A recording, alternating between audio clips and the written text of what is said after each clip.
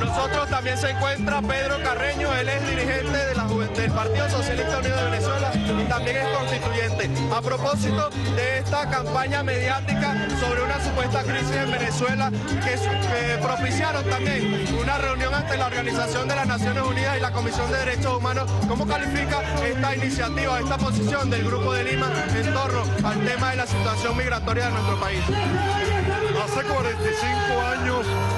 Hace 45 años la derecha reaccionaria internacional y los enemigos históricos, los procesos de liberación nacional de nuestro pueblo, dieron el traste con la esperanza del pueblo chileno de construir el socialismo para que ese pueblo viviera en dignidad. 45 años después, la felonía, la cobardía, la traición sigue intacta, la amenaza imperialista sigue intacta, pero ahora contra Venezuela. Es por eso que hoy los bolivarianos, los que amamos la paz, los que amamos la vida, los que amamos la construcción de un mundo más justo y más humano donde todos podamos vivir en dignidad, estamos en la calle, movilizados, despiertos, defendiendo nuestra esperanza y nuestro sueño de vivir en dignidad y en libertad. La derecha reaccionaria hace su trabajo.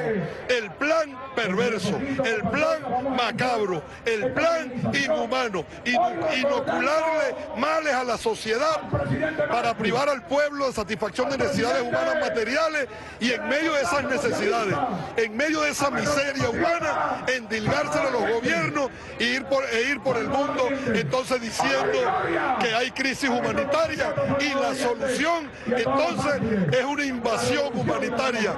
En la historia de la humanidad está plagada de hechos donde esas invasiones humanitarias han terminado en control. ¿Dónde está el ascenso social del pueblo libio? ¿Dónde está la mejora sustantiva del pueblo iraquí cuando salieron a bombardear esos pueblos aduciendo que había llegado la paz y la democracia? Esa no es la suerte que queremos para Venezuela. Nosotros lo único que pedimos es que saquen las manos de Venezuela. Ayer, bueno, fue más grave. Ayer, en la reunión ordinaria del Consejo de Seguridad, Nikki Haley, la embajadora de Estados Unidos, acusando a nuestro camarada Diosdado Cabello de narcotraficante y corrupto para asesinarlo ¿Por qué y para qué? Para justificar acciones ulteriores. Le decimos al imperio, le decimos a los enemigos de la patria, le decimos a la derecha reaccionaria internacional y nacional que este pueblo no está dispuesto a calarse más amenazas, más persecuciones y más asesinatos contra nuestros hermanos. responder la Asamblea Nacional Constituyente ante estas acciones? Es lo que ocurre a esta hora, movilización que va a llegar hasta la sede de la CANTV en la Avenida Libertador.